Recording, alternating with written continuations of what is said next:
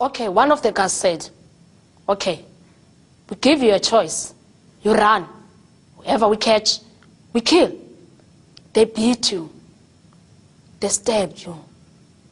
And they kill you.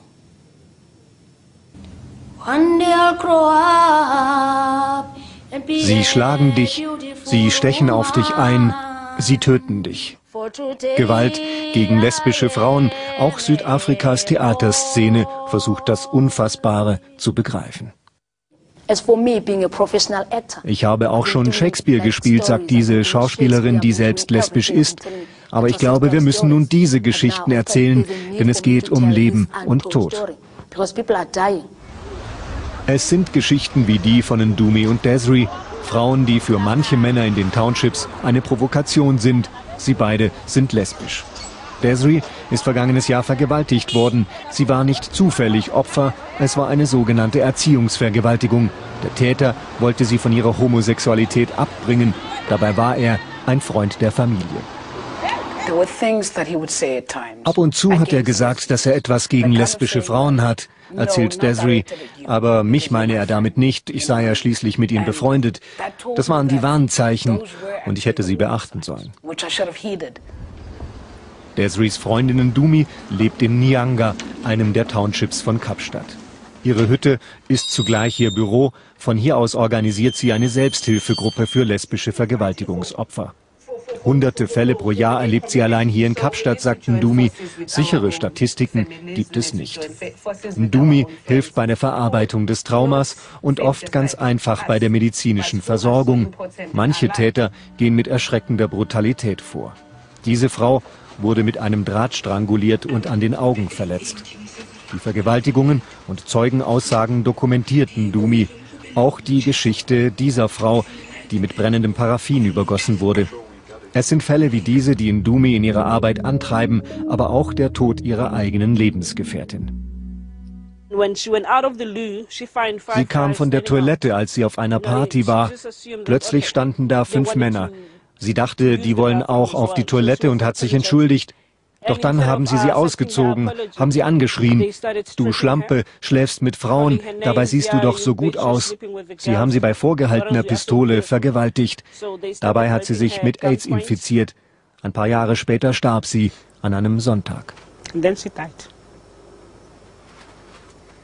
On a Sunday.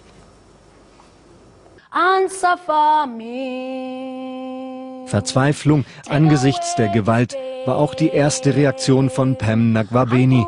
Mittlerweile verarbeitet die Schauspielerin ihre eigenen Erfahrungen in einem Theaterstück.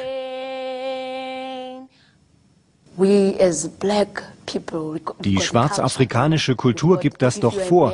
Als Mann hast du die Macht. Du kannst deine Frau schlagen, wenn sie nicht mit dir schläft. Und du kannst so viele Frauen haben, wie du willst. In der Realität haben die meisten Männer eben doch nur eine Frau. Und dann komme ich, die Lesbe, und habe all diese hübschen Freundinnen, habe sogar drei davon. Das ist für die Männer eine Bedrohung. Sie glauben, dass ihre Macht schwindet und die der Lesben zu groß wird. Als lesbische Frauen ein selbstbewusstes Leben führen, das ist das Ziel von Ndumi und Desiree. Sie haben zwar auch heterosexuelle Freunde, doch so mancher Mann begegnet ihnen mit Skepsis oder gar offener Aggression. Gott hat Frauen und Männer geschaffen, sagt dieser Mann. Denn ohne richtige Frauen gäbe es keine Kinder. Er wird noch deutlicher. Ich habe keine Zeit, sie selbst zu vergewaltigen, aber wenn andere ihnen zeigen wollen, wo es lang geht, dann bitteschön. Sie sollten sie vergewaltigen und ihnen zeigen, dass es Spaß macht. Ich glaube, dann werden diese Frauen es auch auf eine schönere Weise haben wollen. Er glaubt, dass moderne Männer kein Problem mit Lesben haben.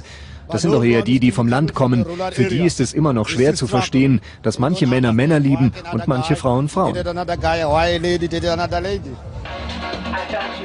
Die südafrikanische Schwulen- und Lesbenszene ist in den Townships rund um Kapstadt sehr aktiv.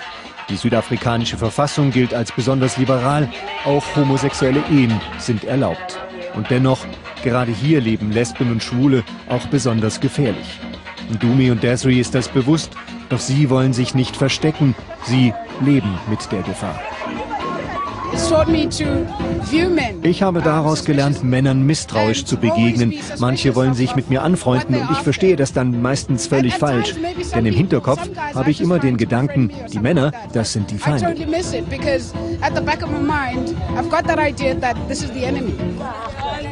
Gegen die Angst der Frauen will Ndumi ankämpfen. Eine Fußballmannschaft, in der ausschließlich lesbische Sportlerinnen spielen, hat sie deshalb gegründet. Der Fußball soll das Selbstbewusstsein der Frauen stärken, soll dabei helfen, die Gefahr zu vergessen. Meine Zukunftsvision ist, dass wir ein langweiliges, einfach ein stinknormales Leben führen können, sagt auch Desiree. Aber dafür müssen wir kämpfen. Und ich habe mir vorgenommen, dass ich selbst dabei eine aktive Rolle spielen will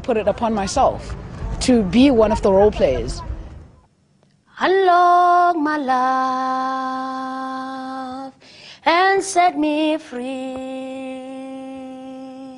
and unbruised and bloody.